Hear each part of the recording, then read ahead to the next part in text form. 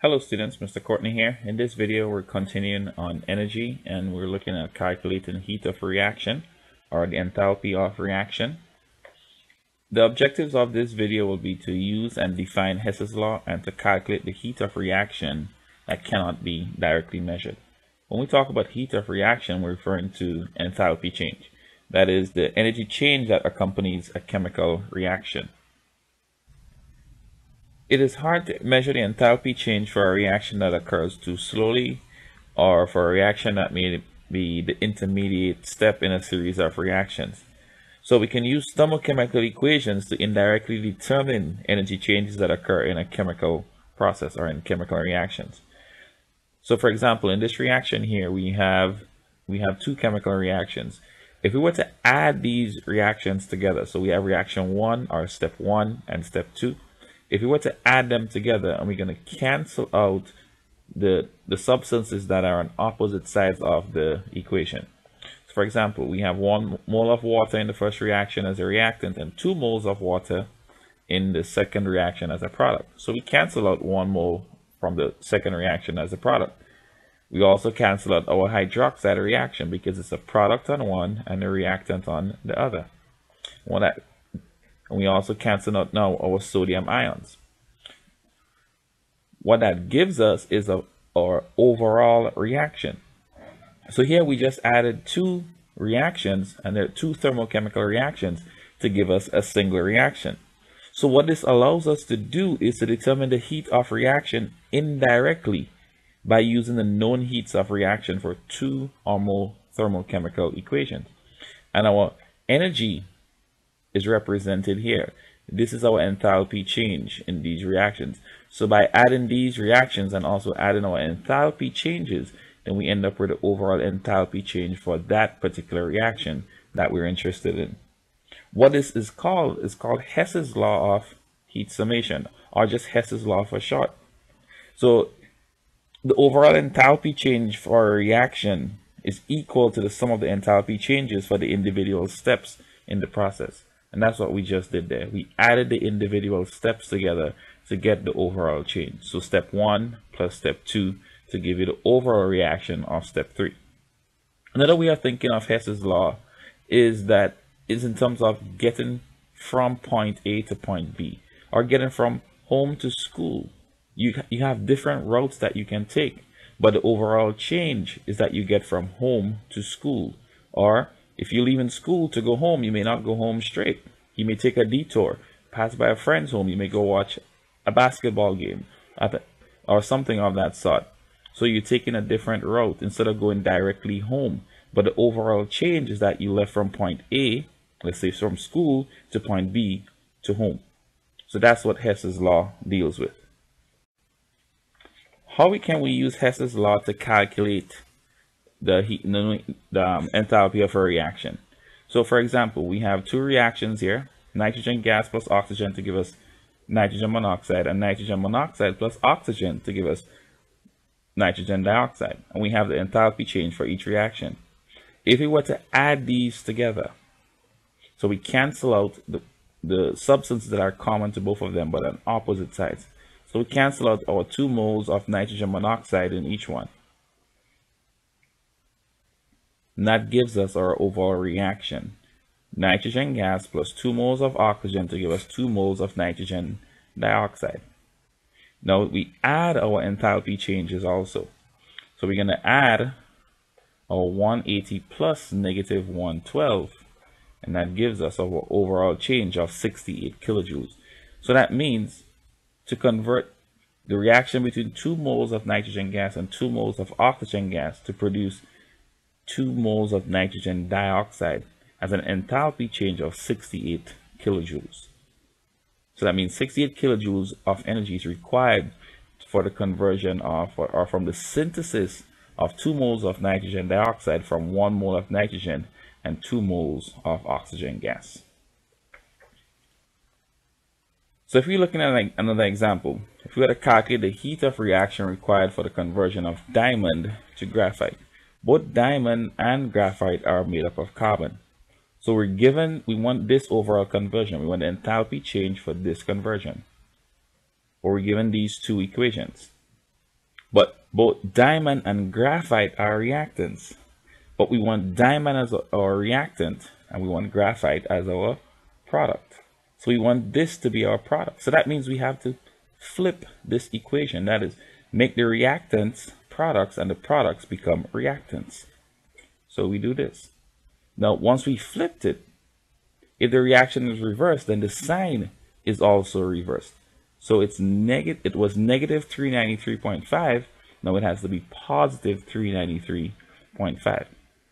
So again, if the reaction is reversed, then the sign of the enthalpy is also reversed. So now we can go ahead and add these two reactions together to get the overall change from diamond to graphite and calculate our enthalpy change. Here we see carbon dioxide, they're on opposite sides, so they will cancel. We go ahead, we also cancel our oxygen. So we left with diamond to graphite. That's the overall reaction that we wanted. Now we add our enthalpies, and that gives us our overall enthalpy change of negative 1.9 kilojoules. So if you're given the following data, you know, and asked to calculate the enthalpy for the reaction, so you have to look at what is it you want as your reactants and what is it you want as your products. So in the overall reaction that we're looking for, nitrogen monoxide is a reactant. But we're given a reaction where nitrogen monoxide is a product. So that means this reaction here, this first reaction has to be flipped. That is, we take nitrogen monoxide, make it a reactant, and take our nitrogen and oxygen gases, make them products.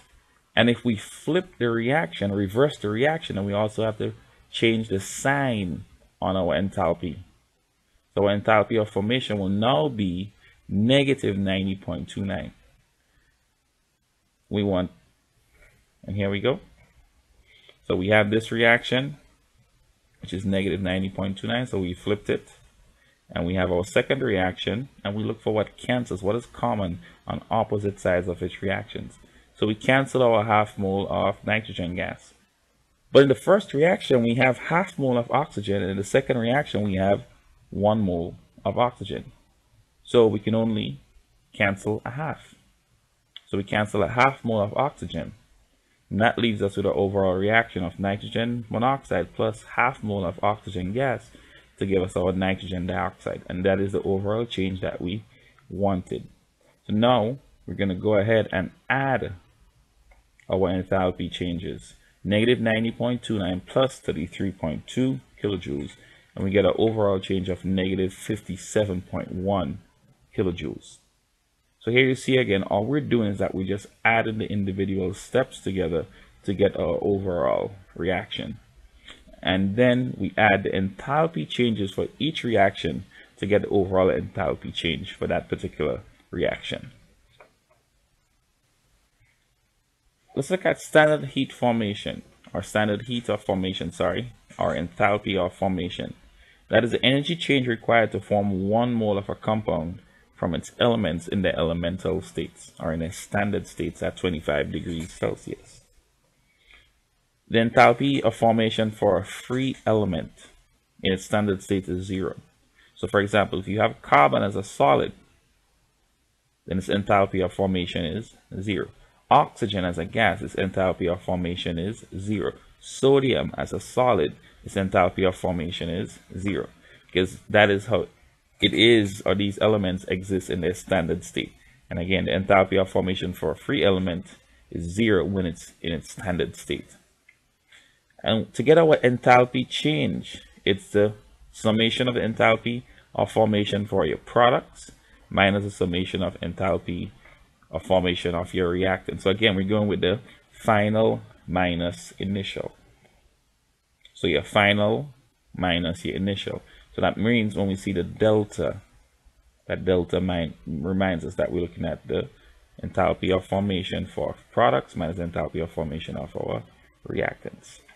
So we're asked to calculate the enthalpy change for the following reaction. So we have ethane plus oxygen to give us water and carbon dioxide and we're given the enthalpy of formation for each substance. So what we have to look at is that to calculate our enthalpy change we need to do the summation of enthalpy for our products minus the summation of enthalpy of formation for our reactants. So let's start with our products. We have six moles of water.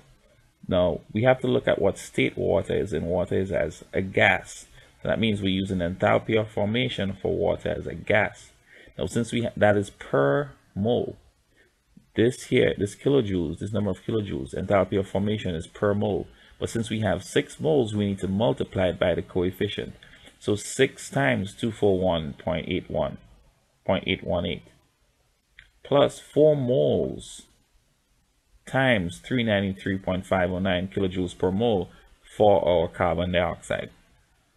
And that gives us a total of negative 3024.94 kilojoules. We go ahead and do calculate for our reactants. We have ethane and oxygen. Enthalpy of formation for ethane is negative 83.85 and we have 2 moles, so we multiply by 2. Enthalpy of formation for oxygen is 0 because oxygen is in its elemental state. It's, it's existing as gas, oxygen gas. So it's in its elemental state, its enthalpy of formation will be 0. So we get our total of negative 167.7 enthalpy change in enthalpy is equal to products minus reactants. So that's negative 3024.94 minus negative 167.7 kilojoules. And that gives us a final answer of negative 2857.2 kilojoules. So that means enthalpy change that occurs when we combust 2 moles of ethane in presence of 7 moles of oxygen enthalpy change that accompanies this reaction or the combustion of ethane is negative 287, negative 2,857.2 kilojoules. And remember, since the enthalpy change is negative, that means heat is released. So that means the reaction is exothermic. And let's look at this one. We have to calculate the enthalpy change for this reaction. Water being decomposed into hydrogen and oxygen.